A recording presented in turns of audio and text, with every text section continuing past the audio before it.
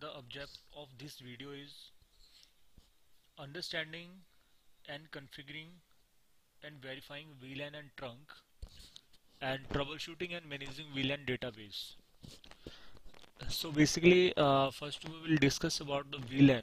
What is VLAN? Like VLAN is a layer 2 isolation of traffic. VLAN 1 like uh, one broadcast domain and one subnet. For better resource utilization QoS logically group users and security. Okay.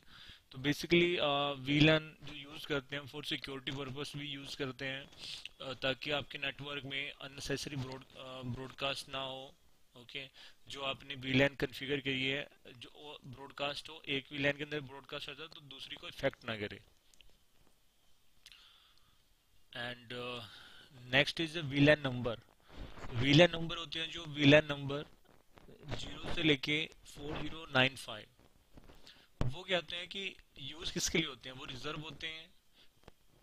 No not show in VLAN database okay तो जो आपका वीलैन का database होता है, उसमें आप क्या करते हैं? वो शो नहीं करते, ठीक है?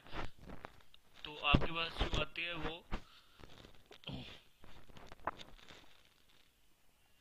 वन ज़ीरो जो डिफ़ॉल्ट विलन है आपकी, ठीक है, यहाँ तक शो करते हैं आपके पास जैसे वन से लेके one zero zero two and five तो ये क्या होते हैं आपके पास वीलन वीलन जो डेटाबेस होता है, उसमें डिफ़ॉल्ट डिफ़ॉल्ट आपको शो करते हैं।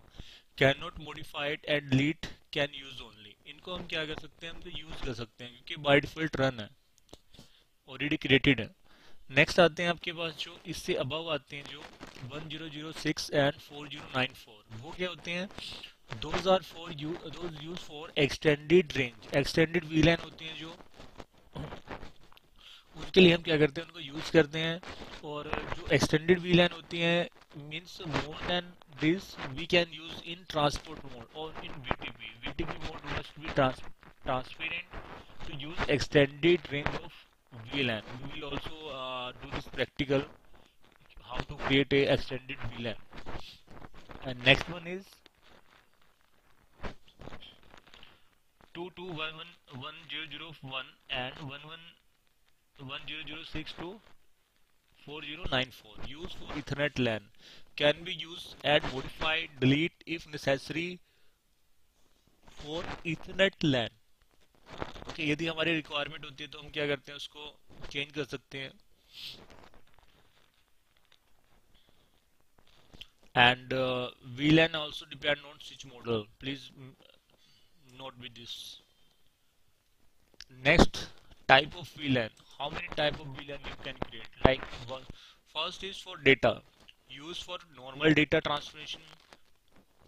Okay. For transferring the data. And uh, next one is a voice so we, if we uh, you are using the VoIP phones so on that time you you can assign per VLAN like uh, any VLAN voice also like voice VLAN next one is a private VLAN used for security to avoid primary and secondary VLANs next one is management. A VLAN which for telnet SSH for configuration. Basically, this used in the like if you have a live production environment, so management purpose like your uh, management console to access any device that will be different from the anyone.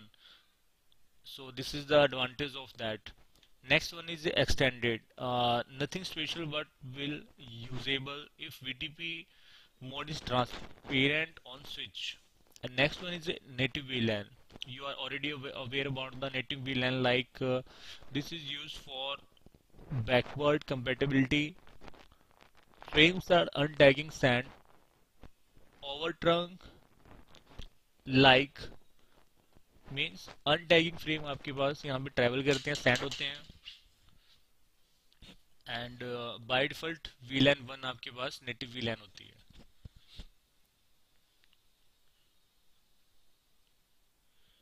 and next one is we discussed about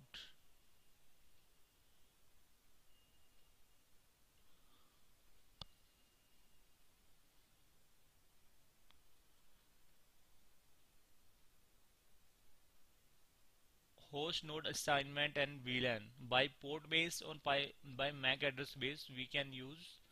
And uh, the main thing is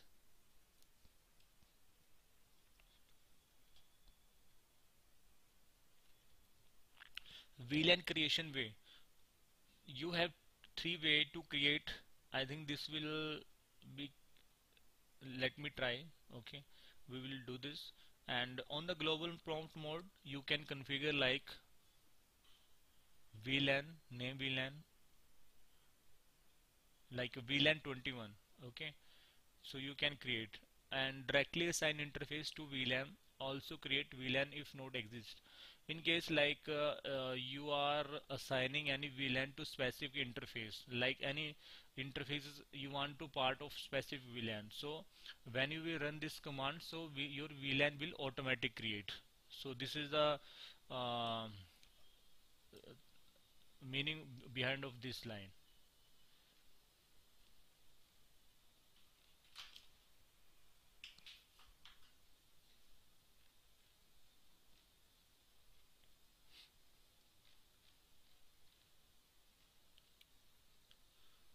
So next you have a VLAN port roles. First is a access switch port mode access. Next one is a trunk dynamic auto dynamic desirable. These are for uh, VLAN ports like in the access port like belongs to one VLAN because if you have any VLAN you can uh, like assign any specific interface in the access like uh, belong to one VLAN for data can voice as well no deal with tagging uh, tagged frame until IP phone connected to the to that port. Disable DTP dynamic trunking protocol. Next one is the trunk. Trunk if you want to carry multiple VLANs so either you have two options to use this DTP like ISL and 802.1q tagging. Default is enable like default is open standard like 802.1q enable. Dynamic auto uh, negotiation mode for the trunk and access default role. Dynamic desirable um, negotiation mode but activity from trunk. Available on higher series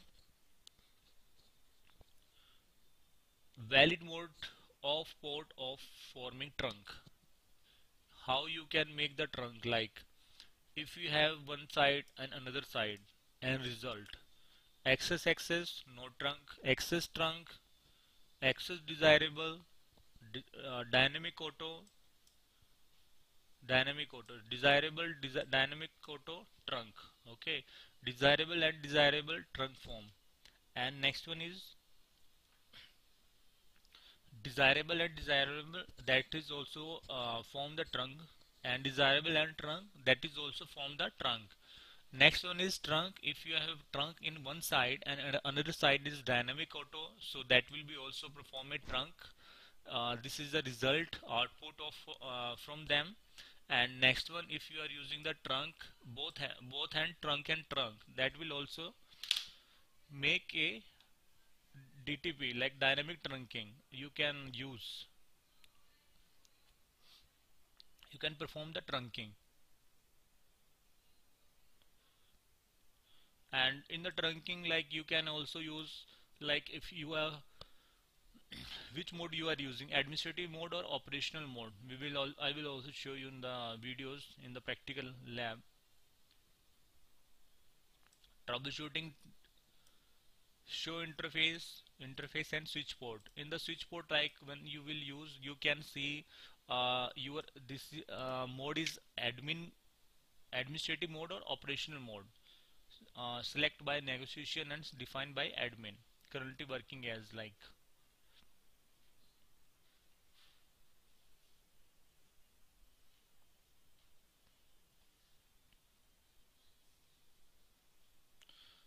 like why we use the trunk port and access port. Like trunk port generally used for connect switch and router and access port use port connect each device like computer ip phone and cameras. And next one is trunk port is member of all VLAN uh, by default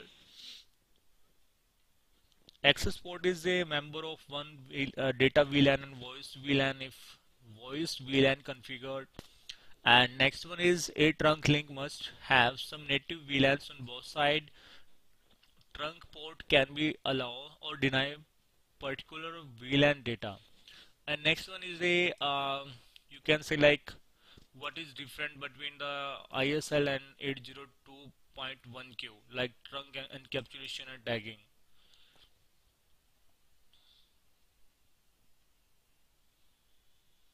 okay so these are the basically difference.